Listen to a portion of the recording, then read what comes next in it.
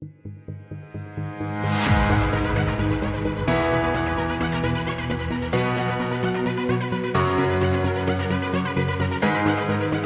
morning, grade 8s. Today I'm going to do a lesson with you on the four factors of production, which is under the entrepreneurship um, theme. Okay, now there are four factors of production entrepreneurship, capital, natural resources, and labor. These are the things that you need to start a business. I'm going to just talk about those four. We're also going to do the remuneration for each of those factors of production. Okay, so I've got um, notes here that I'm going to talk from um, so that I know that I stay on track. Okay, so it is important that you know the definition for capital. Okay, what is capital? Capital is the money that the entrepreneur takes to start a business. It is either his own money or money that he gets from the bank. So it's either his capital or it's borrowed capital that he borrows from the bank. So that is capital. Okay, so there are three types of capital that we actually get. The first one is your own capital, borrowed capital, and capital goods. Okay, so these are the types of capital that you use to start a business and to run a business. Okay, now I'm quickly going to define a few of them. Okay, so capital, as per definition, I'm going to read it from the notes, is financial input required to produce goods and serve services. So, in other words, to put it easier, it's the money you use to produce goods and to deliver services. That is capital. Then we have own capital. Now, the definition is capital provided from an entrepreneur's own pocket. So it's your own money that you use to start a business.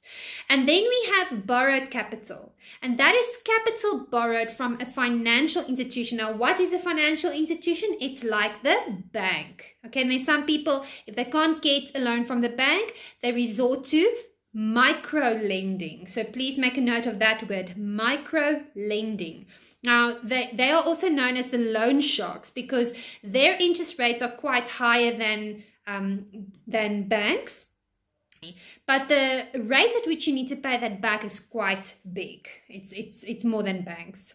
Okay, so then we have capital goods. Okay, now what is capital goods? It's like land and buildings, equipment, everything, land and buildings, equipment, and those kind of things that are used to produce goods and services. So that is capital goods, land and buildings, and equipment that you use to deliver goods and services. Okay, so those are your capital. Now, the next um, concept I'm going to talk about, the second factor of production is labor. Okay, now as we know, labor is the people that work for you.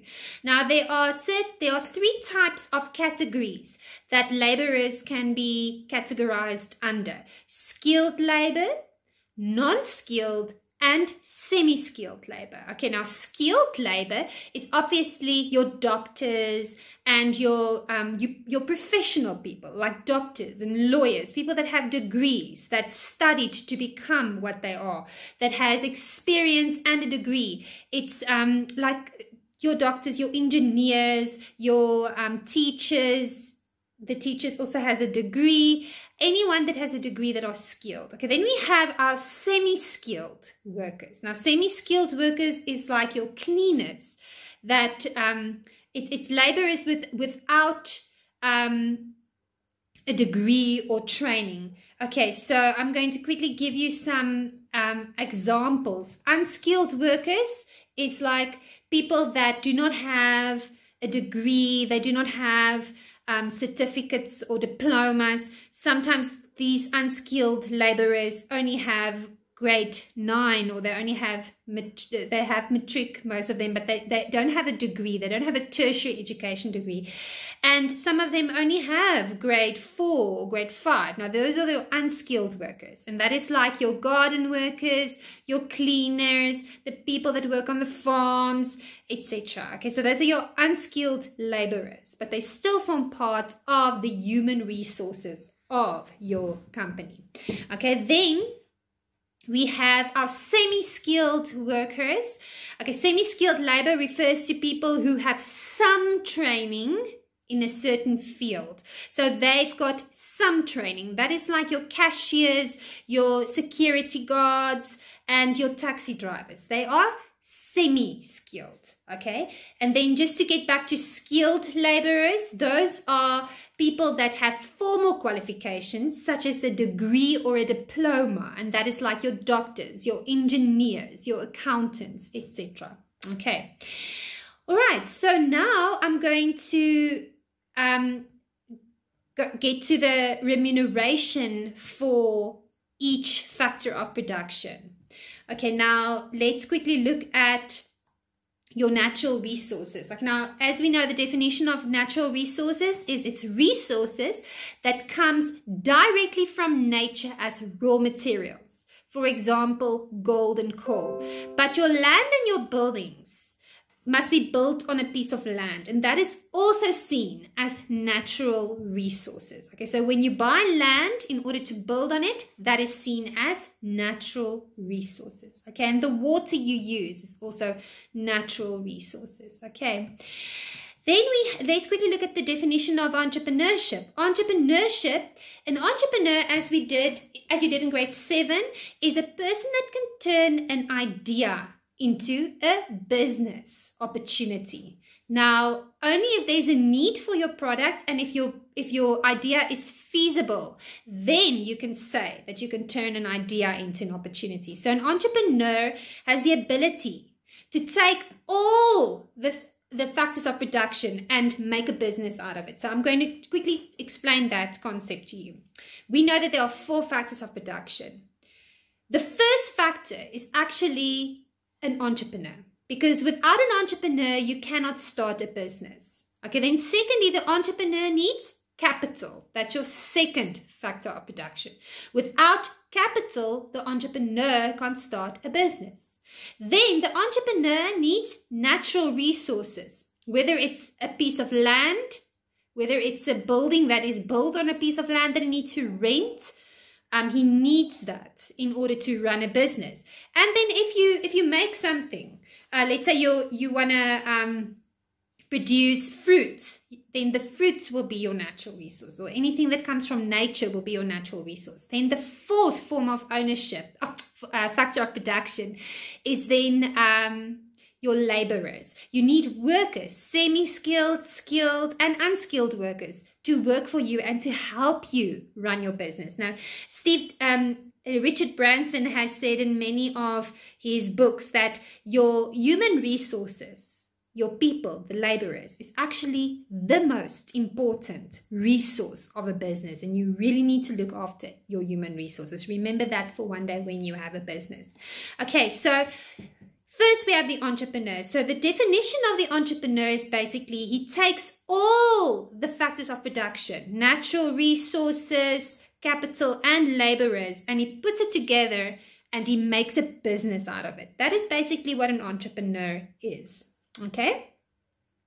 Then I'm going to go on to the remuneration of each factor of production. What does the word remuneration mean? Okay, remuneration is a payment or a reward for something that you do, a service that you deliver, okay, or a product that you deliver. Okay, so if I'm a teacher and I get a salary, that salary is my remuneration if you if you work in the advertising industry or in the um, marketing industry you get remuneration in the forms of salaries but sometimes they give you remuneration for services well done. Let's say you've reached your your target or something they give you remuneration for that. That's to motivate you. So the the purpose of remuneration is to motivate um, the workers to do the work. But then there's also remuneration for each of the four factors of production. There's remuneration for the entrepreneur